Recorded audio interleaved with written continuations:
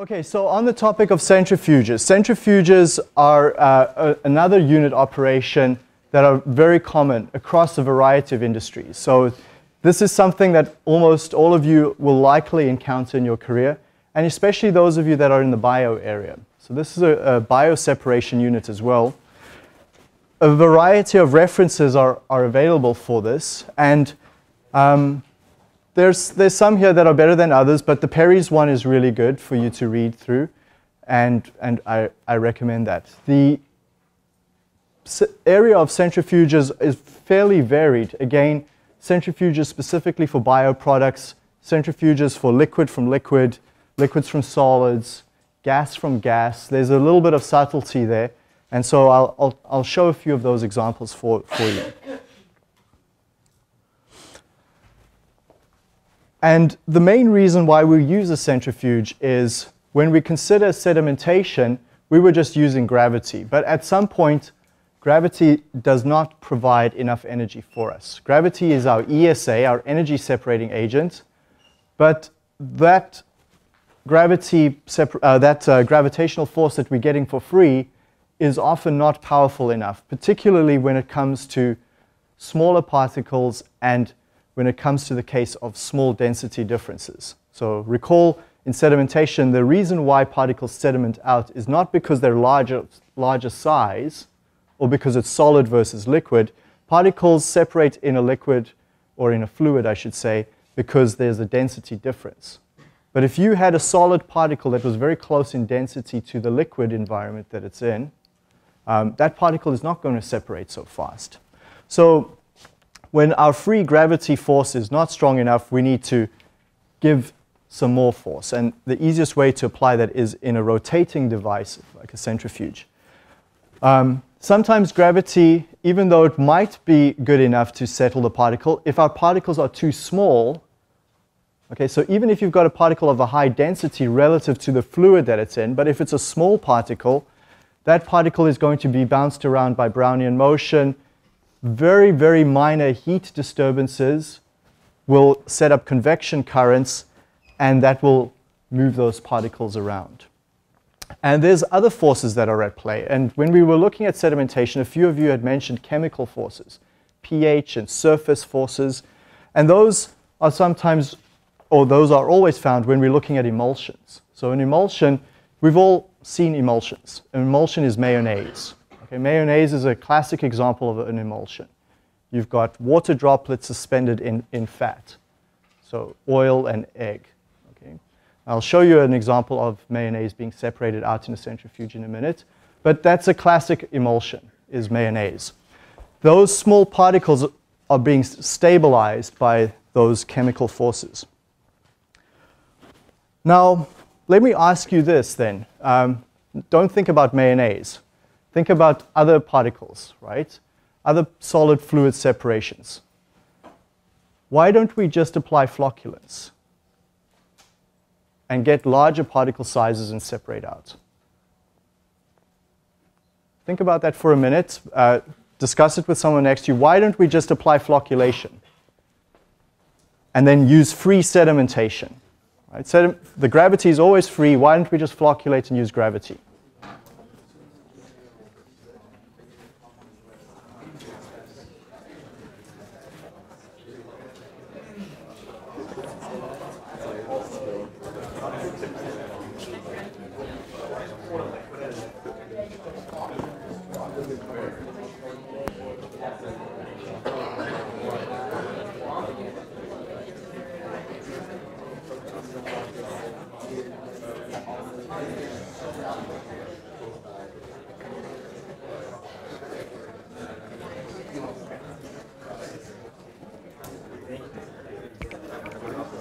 Anyone want to, any group want to give some ideas? Yes? Uh, it's too expensive. It's flocculation is too expensive. Yes, Helen.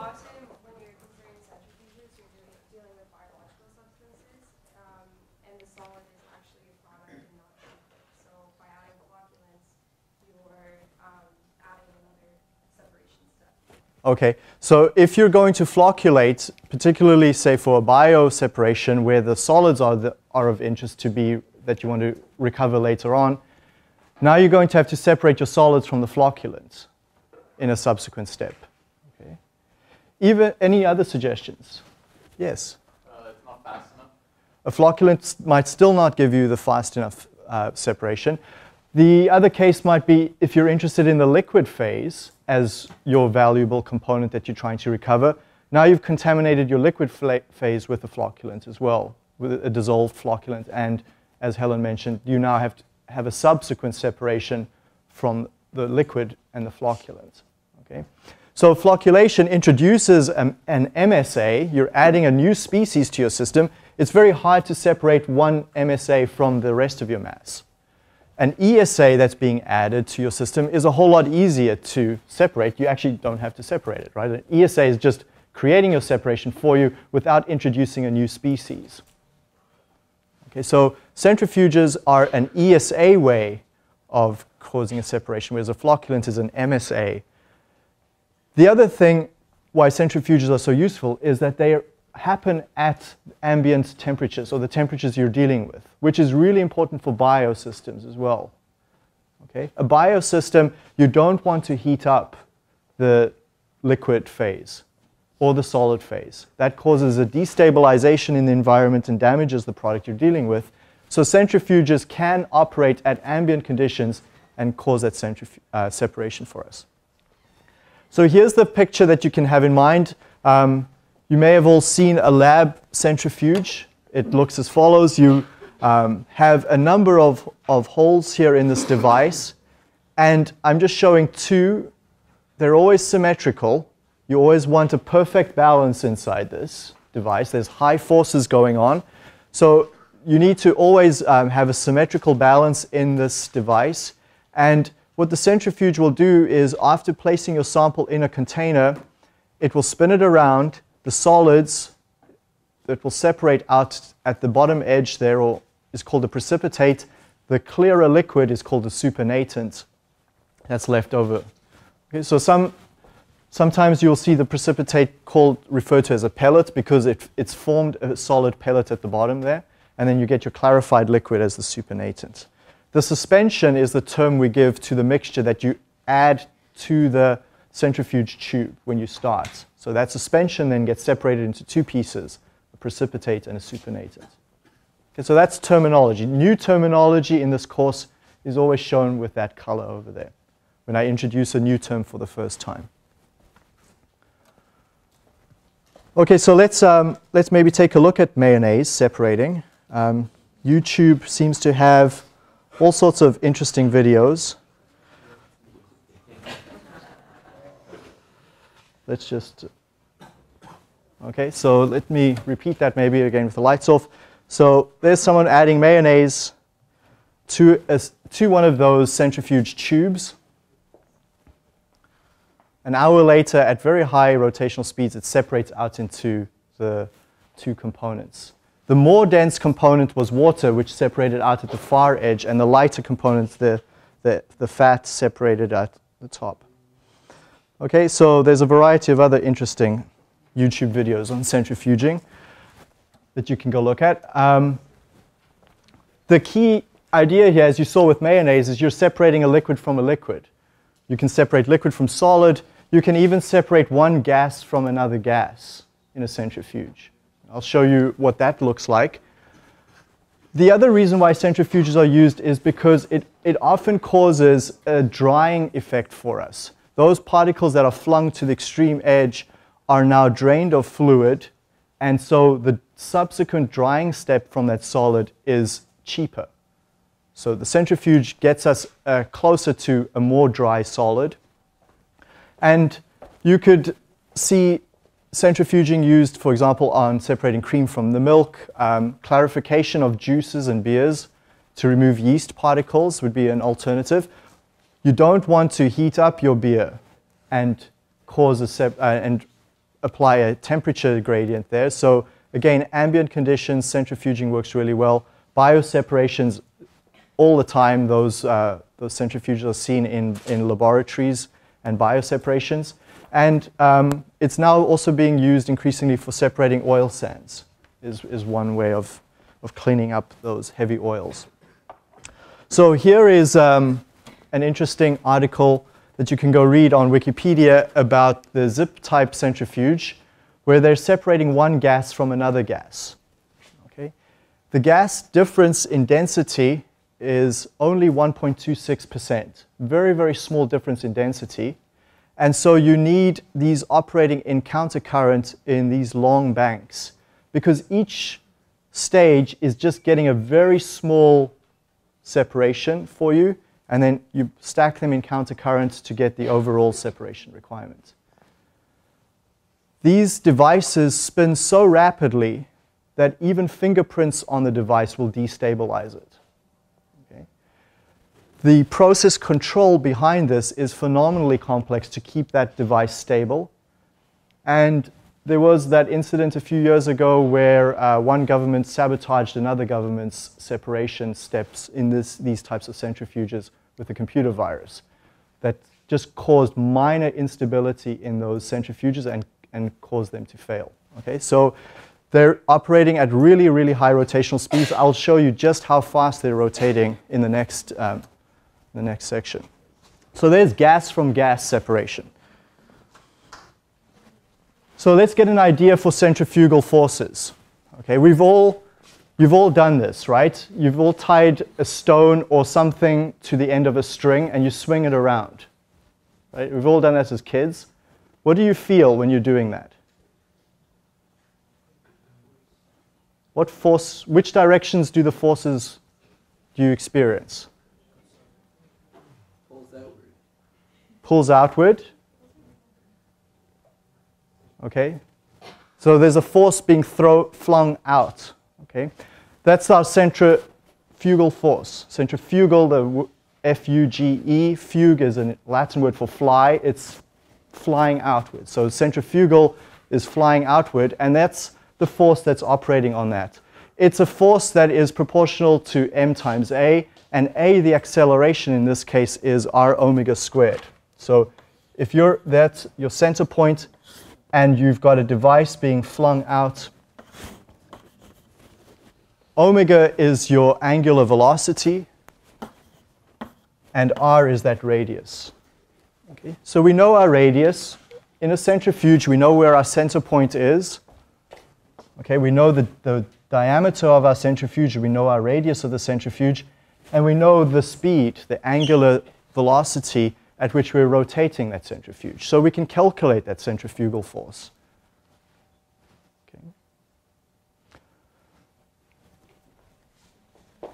So here's, here's one thing I want you to think about.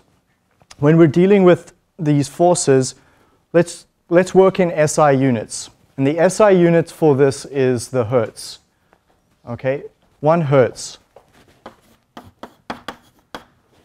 One hertz is one ro full rotation per second. So if you take one second and you do a complete rotation, okay, that's a hertz, one rotation per second. The distance that, oh, sorry, the amount that you've traveled by is 2 omega radians per second. So 1 hertz is, uh, sorry, 2 pi, not 2 omega, 2 pi radians per second is 1 hertz. So that's the SI unit. Radians per second starts to tell us how we're going to move to a different set of units.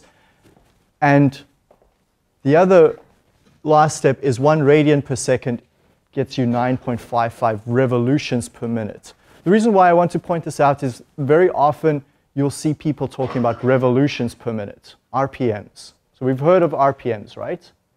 material, uh, uh, sorry, engines or devices rotating at revolutions per minute, RPMs. But RPM is not SI.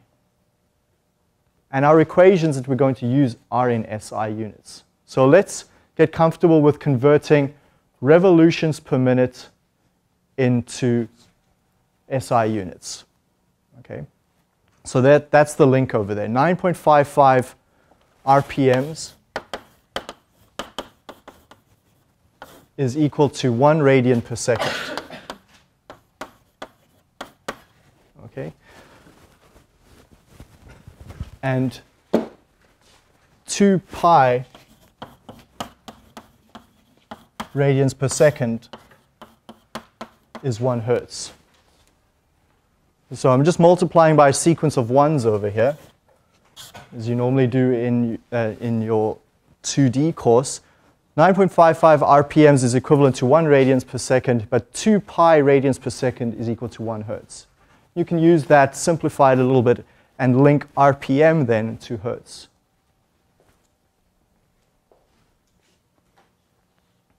Okay. Now let's get, uh, and I'll let you do that in an example coming up soon. But let's get a feel for revolutions per minute. I, let's just deal with the non-SI unit. let's go back to RPMs for a minute because it's used so prevalently. I want you to get a feel for order of magnitude.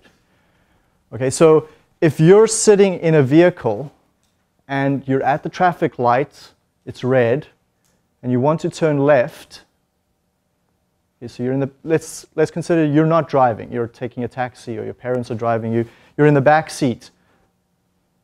Lights turn green, you're going to take a left corner. Who's going to experience the largest centrifugal force? The passenger in the back left or the passenger in the back right?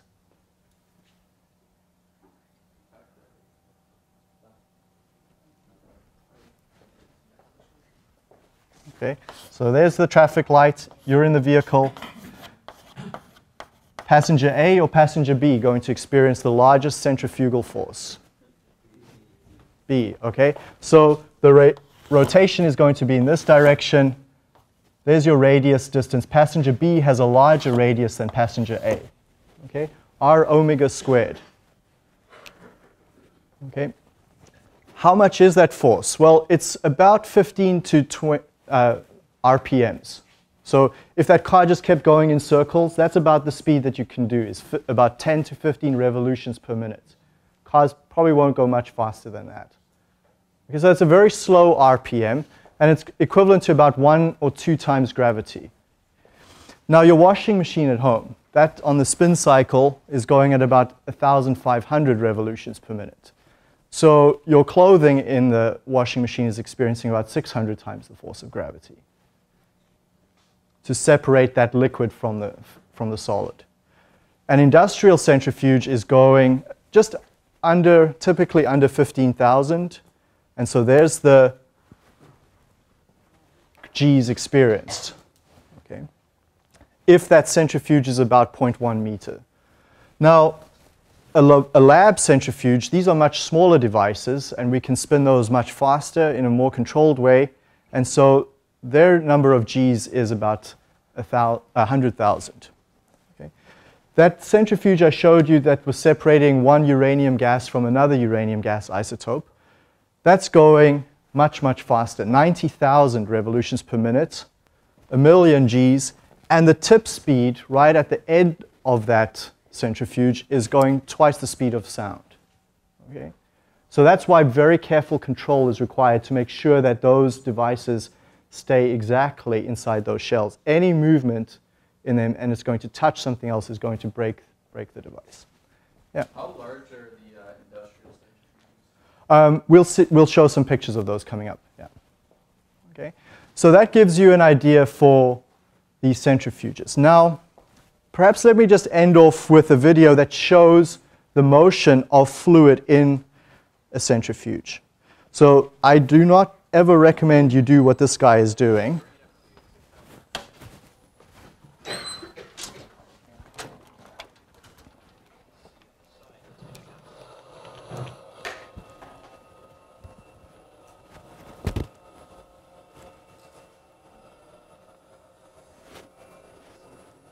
What I want you to focus on is the shape that the liquid takes.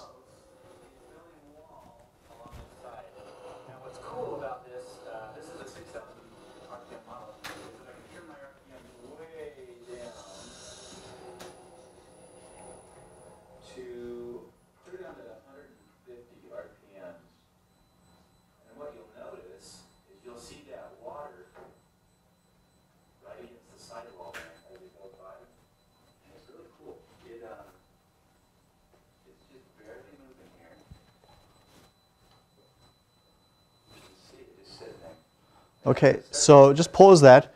So the wall of water was vertical. As he slows it down, the wall of water starts to get this triangular shape. And now he's going to speed it up again.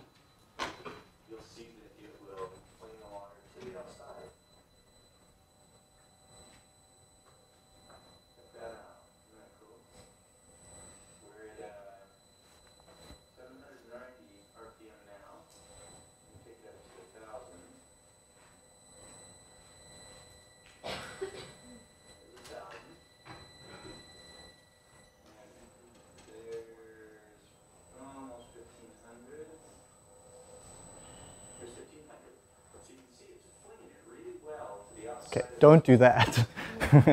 um, okay, so we'll, uh, we'll take a look at what the particles do inside that centrifuge in next week's class.